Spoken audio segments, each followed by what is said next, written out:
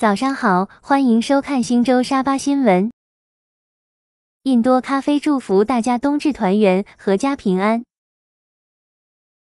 来关注今天头版新闻。首相兼财政部长拿督斯里安华说，除了食物辅助改善计划和购买教科书的支出要求，政府同意不论父母收入，在二零二三年一月向所有学生提供一百五十令吉的开学援助金。安华昨日在提成二零二二年统一基金二度法案时说，疫情的危机导致一代人辍学，因此为儿童准备适当的学校设备是非常重要的。对于年轻人的就业，他说，在实施一千五百至两千一百令吉薪金计划的推动下，政府将在二零二三年通过短期就业计划提供五万个合同职业机会。其中包括三万五千个政府关联公司的就业机会。配合来临的圣诞节，联邦国内贸易及生活费部公布，沙巴将有十项食品列入佳节统制品，当中涵盖鸡、羊、蔬菜及猪肉。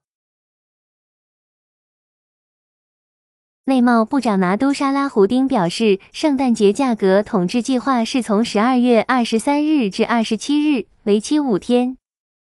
换个焦点，沙巴人民联盟署理主席拿督杰菲里吉丁案强调，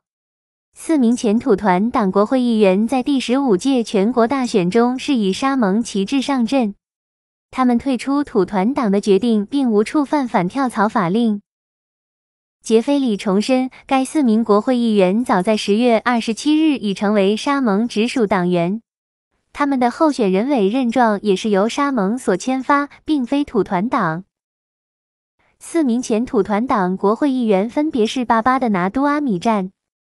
三角石的凯鲁费道斯、蓝脑的拿督佐纳丹雅辛，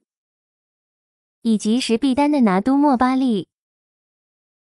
沙巴州元首敦朱哈提醒人民，在来临的佳节期间必须小心谨慎，采取防范措施，遏制冠病蔓延。